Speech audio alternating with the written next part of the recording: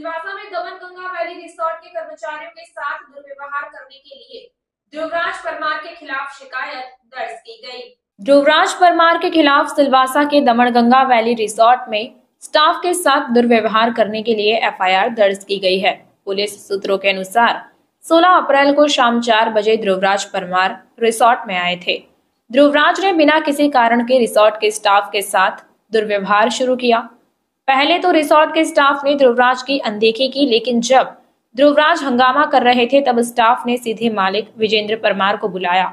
विजेंद्र परमार को फ़ोन करते देख ध्रुवराज वहाँ से चले गए। विजेंद्र परमार के निर्देश पर रिसोर्ट के स्टाफ ने पुलिस को बुलाया। उसके बाद ध्रुवराज परमार के खिलाफ एफआईआर दर्ज की गई। पुलिस ने ध्रुवराज परमार को पूछताछ के लिए पुलिस स्टेशन बुलाया।